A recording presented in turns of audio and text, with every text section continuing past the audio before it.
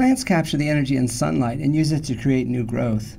A tree grows tall so that it has more area to capture more light and thus more energy. Solar cells on Colorado State University's campus capture sunlight to create electricity. The cells are tipped toward the sun.